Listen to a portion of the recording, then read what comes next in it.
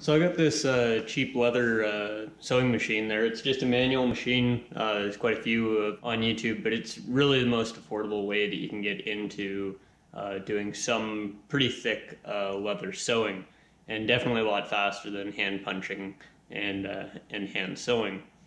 So these are available through Amazon. Lots of different sources and variants of them, but they've got to be all coming from the same factory in China. Um, I think I was paying about 250 Canadian uh, delivered to my door. Down in the States, I think guys are talking they're getting them for about 125 uh, dollars US. So either way, super super cheap.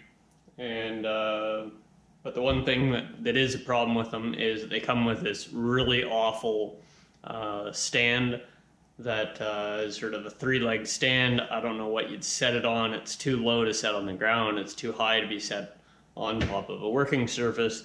So what we're going to do today is build a, a, walnut base for this to sit on properly so that it can be moved around like you would a regular sewing machine, set it on a tabletop, and actually do some work with it. So starting with some rough lumber here, we get a 10 inch wide piece of walnut and uh, we're going back and forth between the thickness planer and the jointer and then finally the table saw and we'll get uh, this piece all squared up.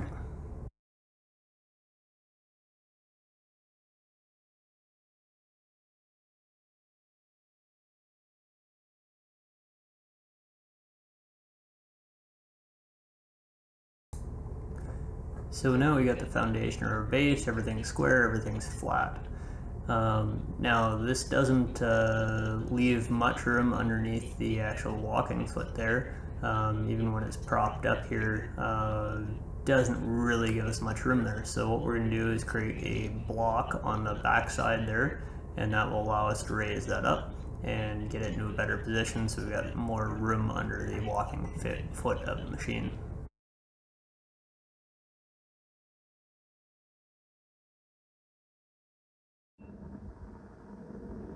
So to make that elevated base, I've got this piece of wood here that's already been uh, glued together and laminated. It's got a few different pieces in it. It is walnut. And the way I bought this piece was actually by weight. So these were cut-offs or parts of failed projects or something like that that uh, my lumber supply store got a hold of. And they've got a bin that they just sell off uh, remnants basically and, and shorts and that sort of thing um, by weight. So it doesn't matter what type of wood it is. Um, you know, it's just by the weight that you're going. So if you can sort of pick through it and figure out which ones you can, you can find some pretty darn good deals. And uh, so I think this is going to uh, fit the purpose that we need right now. So I'm going to go ahead and cut this off and then we'll uh, mill up the rest and then uh, cut the section off that we need.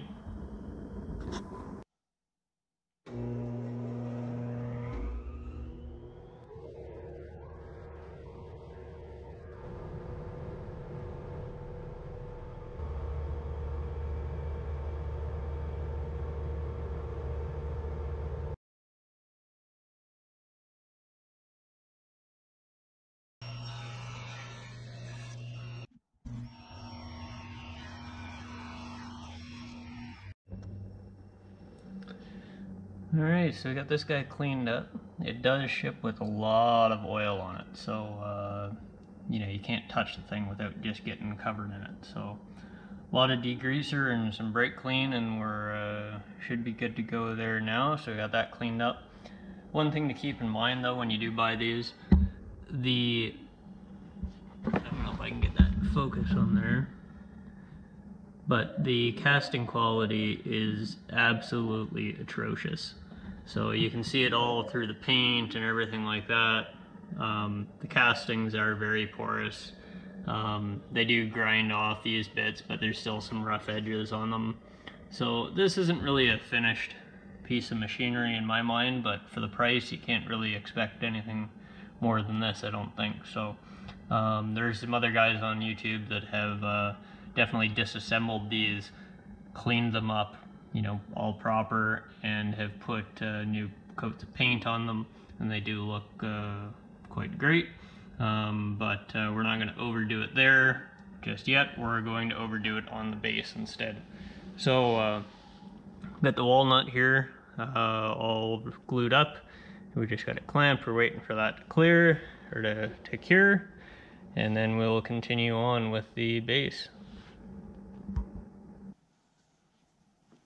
And for finish, we're gonna go with the Osmo uh, wood wax finish. Really easy to apply. Um, really enjoyed this finish and it goes a long way. So a small can can certainly cover uh, a lot of uh, square feet of board.